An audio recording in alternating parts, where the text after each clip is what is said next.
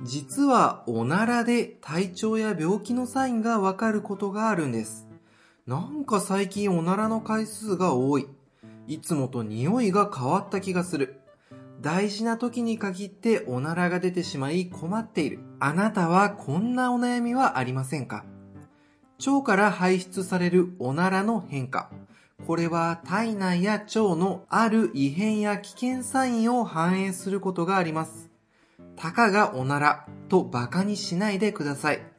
おならの症状で日常で苦しんでいる人は多くいますし、命に関わる病気のサインのことだってあります。そしておならが多い時、臭い時、私たちはどうすればこの症状を止めることができるのか、対策についても知っておきたいですよね。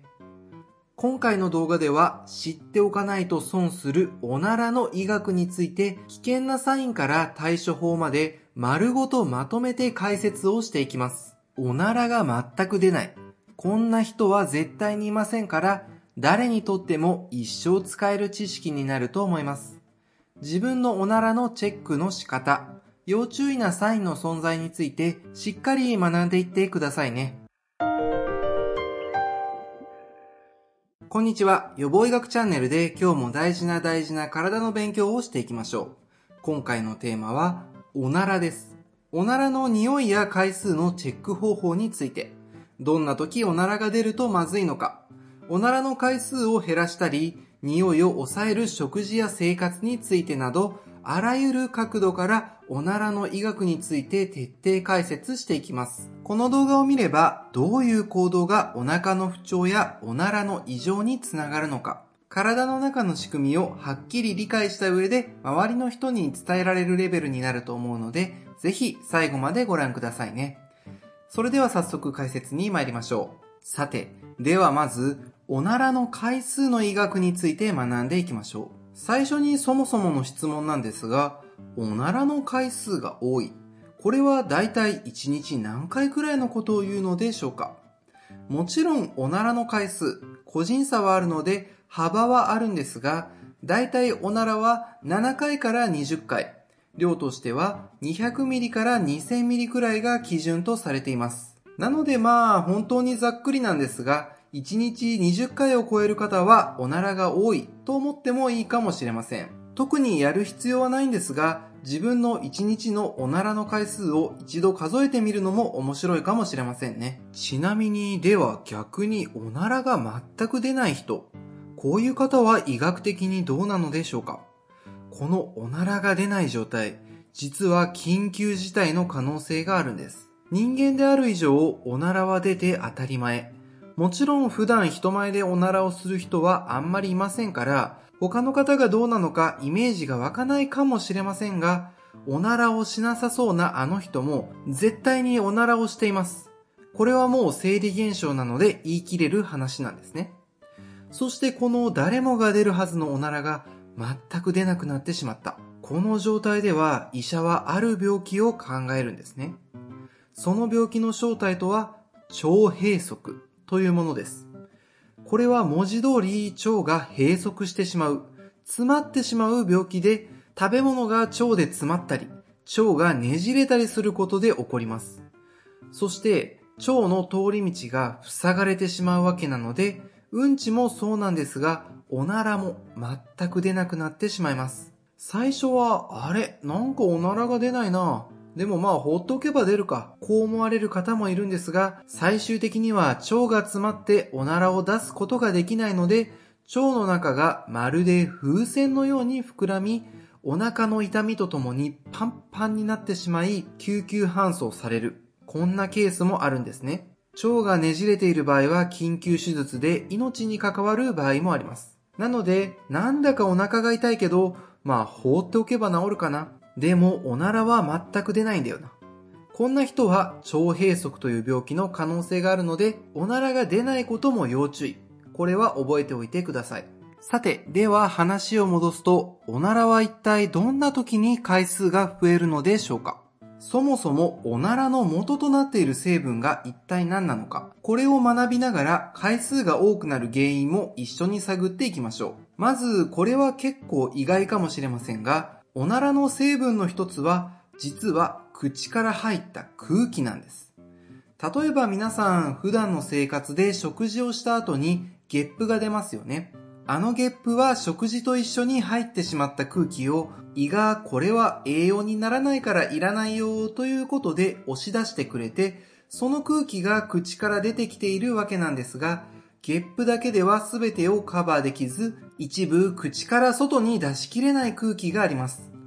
そしてこの空気は結果どうなるかと言いますと、食べ物と一緒に胃を通過し、腸を通過して、今度はお尻の穴から体の外に出ていくんですね。これがおならの成分の一種で、実はおならの80%くらいはこの空気なんですよね。ということは、おならの量が多い。回数が多い人というのは、この口から入る空気の量が多いということでもあります。では、一体どんな場合に口から入る空気の量が多くなってしまうのでしょうかまず、早食い、早飲みの人はこの現象が起きやすいです。よく噛んでゆっくり食べている人はしっかりと唾液が分泌され余分な空気を飲み込まずに咀嚼ができるんですが一方で噛む回数が少なくどかどか早食いをしてしまう人は一緒に余分な空気も取り込んでしまいその空気は胃を通過しおならの量が増える原因になりうるんですよね例えば水分を摂取するときもぐびぐび勢いよく飲んでしまうと一緒に空気を飲み込んでしまいます。口を小さくすぼめて空気が入らないように飲む方がもしおならを減らしたいとすればいいわけです。また噛む回数が少ない、いわゆるドカ食いの人はおなら以外にも血糖値が急上昇してしまう血糖値スパイクと呼ばれる状態が体の中で起き糖尿病のリスクを上げるこういうデータもありますし、おならの量を減らすためにも、糖尿病のリスクを上げないためにも、よく噛んで、できる限りゆっくり食べた方が良さそうですね。また、実は食事以外の時でも空気を飲み込んでしまう病気が存在するんですね。その名も、ドンキ症。あなたは聞いたことがあるでしょうか？このドンキ症という病気は、緊張やストレスで起こりやすい病気で、知らず知らずのうちにストレスのせいで無意識に空気を飲み込んでしまい、ゲップやお腹の張り、おならが出る病気で、別名空気嚥下症とも呼ばれています。歯を噛み締めてしまった時に空気を飲んでしまい、おならにつながることもあるんですね。このドンキ症はなかなかいい薬があるわけではないので、自分のストレスとの向き合い方を対策していく。これがまず一番なんですが、要するに何が言いたいかというと、おならが多くなる原因は実はストレスだった。こんなことがあるんだよ。こういう事実なんです。さて、そしてここまではおならの成分となる空気の話でしたが、もちろんおならイコール空気というわけではありません。おならというのはこの空気と腸の中で腸内細菌が発酵することによって作られるガスが混ざってできるもので、当然ガスの方が増えてもおならの量は多くなるんです。では、どんな時にガスが増えると思いますか？これは少し意外かもしれませんが、実は食物繊維を多く摂取した時なんですよね。え、食物繊維って体にいいし、お通じも良くなる素晴らしい成分だよね。こういうふうに思った方も多いと思います。もちろん、これはその通り。食物繊維はお通じのためにも健康のためにもぜひ摂取してほしい成分です。ただ皆さん、食物繊維の役割をご存知でしょうか？食物繊維というのは大腸の中で乳酸菌などの善玉菌の餌となってくれているんですね。そしてこの際、実は善玉菌からメタンや水素といったガスが発生します。そしてそれがおならの元となってしまうわけなんですね。ただ、食物繊維を増やしておならが多くなること自体が健康に悪いわけではありません。なので、要するに自分はおならが多くなっても気にならないよ。健康の方が大事だよ。こういう方は食物繊維を変わらず摂取してもらえば OK。むしろしっかり摂取してください。ただ一方で食物繊維がおならにつながるなんて知らなかった。もしかしたら私の悩みであるおならが多いのは食物繊維の取りすぎかもしれないとおならの回数を減らしたい気持ちのある方は一度この食物繊維意識してみてもいいでしょう。ここで思い出してほしいのがお芋の話です。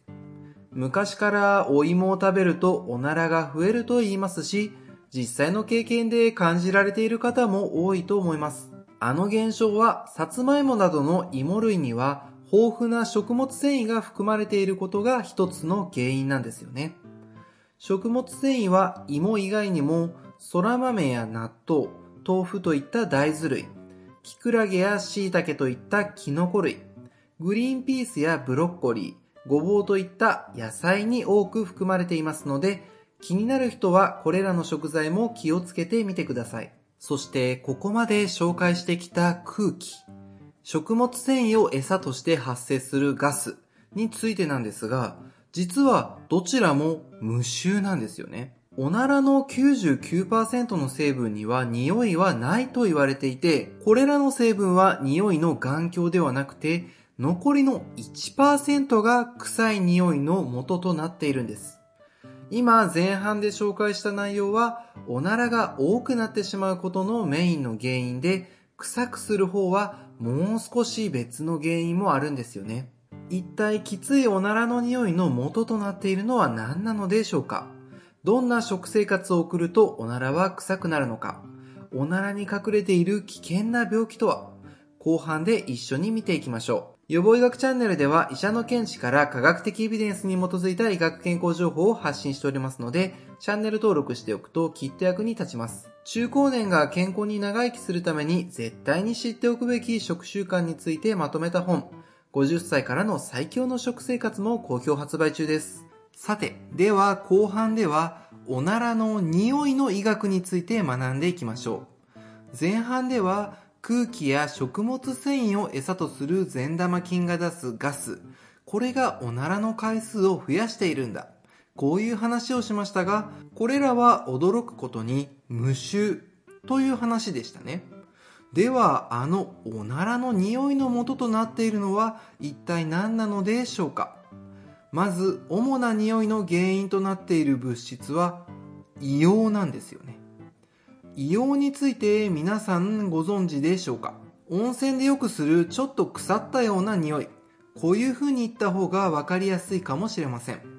なんとも言えない、ツンとくる温泉のような、卵が腐ったような匂いの正体が硫黄なんですよね。ちなみに卵が腐ったような匂いと言いましたが、ゆで卵も似たような匂いがする場合があります。これは卵を15分以上茹でると卵白のタンパク質が変化して硫化水素と呼ばれる硫黄っぽい匂いのガスが出るからなんですよね。またこの硫化水素が黄身に含まれている鉄分と反応すると化学反応を起こして黒っぽくなります。たまに黄身が黒くなっている部分を見かけることがあると思いますが、あれは硫黄の成分が原因だったんですよね。これは豆知識でしたが、とにかくこの硫黄の成分は実は身近に潜んでいて、あんまり過剰に摂取すると、おならがなんとなく腐ったような匂いにつながってしまう場合があります。では、一体どんな食べ物に硫黄が多く含まれているのでしょうか？これは、ニンニク、長ネギ、玉ねぎ、ニラといったユリ科の野菜たちなんですよね。これらの食べ物を多く摂取するとおならが臭くなってしまうことがありますし、なんとなくこの食べ物、心当たりある、経験ある、という方もいるのではないでしょうか。前半で説明したような善玉菌が食物繊維を分解するときに出る水素ガスやメタンガスなどは無味無臭なんですが、この硫黄成分が多く含まれた食べ物を分解するときに出るインドールやスカトールと呼ばれるガス。これが腐った匂いをさせてしまう諸悪の根源なんですよね。無臭のガスと腸の中でうまくミックスされ、当然無臭より悪臭の方が勝ってしまうので、臭いガスとしてお尻からひょっこり出てくる。こんな仕組みなんです。また硫黄の入った食べ物以外にももう一つ臭いおならの原因となる食べ物がありますそれがお肉類というのもお肉類は食物繊維と違って悪玉菌の方の餌になりやすいのでお肉をどんどん摂取してしまうと悪玉菌たちが大喜びして悪玉菌がどんどん増えてしまう。これがおならの悪臭につながることがあるんですよね。焼肉に行った次の日の自分のおならが臭かった。こんな経験はないでしょうか。まあ焼肉に行った後だけならいいんですが常にこういった嫌な匂いのおならが出ているのは少し考えもの。つまり肉類などの動物性のタンパク質を中心とした食事を摂取し食物繊維はあんまり摂取しない。こんな生活を続けていると腸の中の悪玉菌が増えてしまいこういう嫌な腐ったおならが続いてしまうことがあります。逆に言えばおならの匂いである程度自分の腸内環境がどんな状態か目星をつけることができますよね。あなたもぜひ次におならが出た時に一度チェックをしてみてください。ツーンとくる嫌な匂い腐った匂いはしませんか？もしした場合はあなたの腸内細菌が乱れているサインかもしれませんね。逆に無臭とまではもちろんいかないまでもあっさりしたおならの匂いの人は善玉菌がしっかりいる整った腸内環境ができているかも。あくまで一つの目安で参考程度ではあるんですがこのようにおならの匂いを腸内環境のセルフチェックに使うこともできます。さてではおならの回数が増える。匂いがきつくなる人体の仕組みについて理解したところで見逃してはいけない放っておかない方がいい危険なサインについて知っておきましょう。まずはおならと大腸がんといった命に関わる病気の関連はあるのでしょうか？こちらについてはおならの異常だけですぐがんを気にする必要はないと思います。しかし全てが全てではなくもし変化があるとしたら例えばこんなケースでしょう。まずそもそも便秘の状態というのがおならが臭くなる場合があります。これは大腸に便がいる時間が長ければ長いほど悪玉菌が増えるリスクが上がることが原因なんですね。そしてもし大腸がんができてしまうとがんが腸の通り道を塞いでしまうので便秘にもなりやすくなってしまいます。そしてこの結果としておならの匂いも変化してしまう。こういうケースはあり得るでしょう。また、先ほど説明したような嫌なおならの匂いが続く方、おならの匂いと大腸がんの関係に明確なデータがあるわけではないんですが、例えば豚肉や牛肉といった赤身肉やベーコンやソーセージといった加工肉の食べ過ぎは大腸がんのリスクを上げる。こういうエビデンスもありますから、あんまり嫌な匂いのおならが続くような腸内環境を放置しておくのは大腸にとっていいことはないのではないかと感じています。なので、例えば50歳を超えた方で最近あんまり検診を受けていない。そして最近おならの匂いがきつくて明らかに前と違うな。こんな場合に検診を受けるきっかけにするなどはいいと思いますし、お腹の痛みなどおなら以外にも気になる症状があれば早めに病院へ行ってもいいでしょ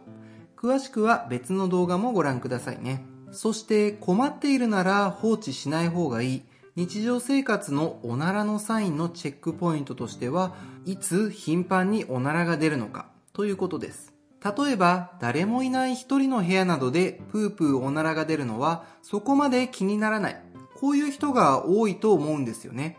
しかし、電車に乗っている時、スピーチなどで緊張した時、あるいは会社に行った時など、してはいけないタイミングに限って出てしまうのは本当に困りますよね。そしてこういうエピソードがある人には、ある病気を疑うんです。それは過敏性腸症候群、通称 IBS と呼ばれる病気。前半の鈍気症の話でストレスがお腹の原因になりうるよ。こんな話をしましたが、この IBS という病気も日常のストレスや緊張が引き金となって起きるもので、大腸カメラを行っても腸の中は本当に綺麗で何の異常もないことが特徴です。たかがおならと馬鹿にする方もいるんですが、この IBS の症状は日常生活に非常に差し支えてしまったり、学校や会社に行けなくなってしまう人もいる嫌な病気。おならだけではなく、お腹の痛みや便秘と下痢を繰り返す場合もあるんです。そして IBS は薬の治療で良くなり、生活が快適に送れるようになるケースもありますから、おならの症状で病院に行くなんて、と思わずに悩んでいるなら病院を受診しましょう。専門の科は消化器内科になります。そしてこの IBS の人を含め自分のおならを何とかしたいんだけどな。こういう人におすすめの食事法があるので、これは自分は病院に行くほどでもないかな。こういう人もぜひ覚えて帰ってほしいと思います。その食事法とは、フォドマップ食対策なんです。あなたはこのフォドマップ食という言葉を聞いたことがあるでしょうか？初めて聞いた。あんまり聞き馴染みがない。こういう人もいるかと思います。このフォドマップという言葉は、おならなどのお腹の症状を悪化させうる食事の成分をまとめた言葉なんですよね。人間の腸というのは、このように小腸から大腸へとつながっているんですが、消化のいい糖質なんかは、まず小腸についているポンプのところからどんどん吸収されていきます。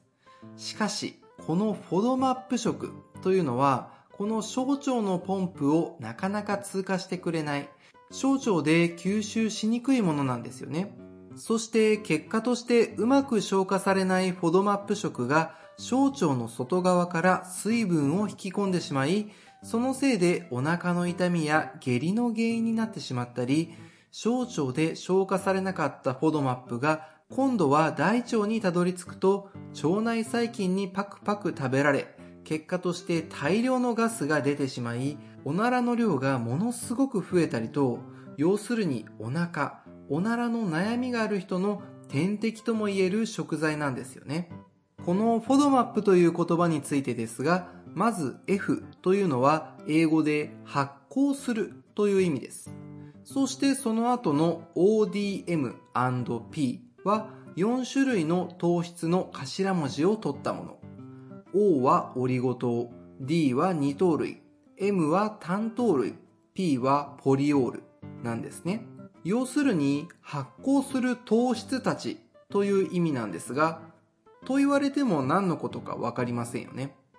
これはつまり大腸で発酵しやすいという意味なんですよね。大腸で発酵しやすいということは大腸でガスを作りやすいということはおならを増やしやすい食材。こういうことですね。では、このフォドマップ食、具体的にどんな食材があるか見ていきましょう。まず、野菜についてですが、フォドマップが多いのは、アスパラガス、ごぼう、ネギ、ニンニク、カリフラワー、ラッキョウなどの野菜。勘のいい方はお気づきかと思いますが、先ほど出てきたおならを増やす硫黄を含む食材、ニンニクやネギなども入っていますよね。